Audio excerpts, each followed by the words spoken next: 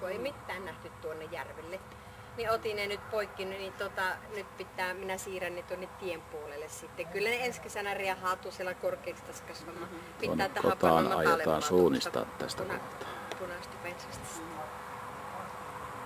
Tuohon sitten on tuo jaloangerva sitten, jääp ja ruusut sitten tähän pitkiin penkkiin laitettiin nyt tänä kesänä.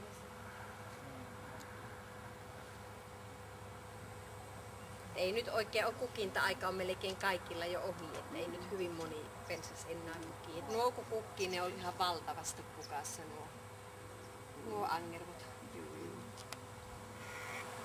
Hortensiat kukkii nyt ja nämä kuningas. Me on naurettu, kun meillä sorsia on tässä, ne on pesinyt tässä kaksi poikuetta.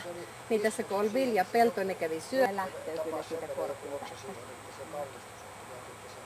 tuohon on vähän vikaa liiteen, niin isot laitot tuosta ei äly. Seurata ja sitten tuovia tässä variksia, harakoita hirveästi. On monenlaista lintua, jäniksiä on ja kesän aika ihan jäniksiä. Tänä kesänä se on kasvanut kasvua. Syksyllä pitää kaikki verkot toppensa. Meillä on niin paljon talven aikaa sitten jänistä, että... Niin, kyllä. Mä itse koskoo selkä, niin mielellä istuu. Oltiin puusavotassa tässä perjantai-päivänä, haettiin 15 kuutio maaningolta puita. Ensin lastattiin kuorma-auto ja sitten vielä lastattiin tielle ja siihen se aamulla lähdettiin kahdeksan aikaa, niin illalla oli seitsemän kahdeksan aikaa vasta puut liiterissä.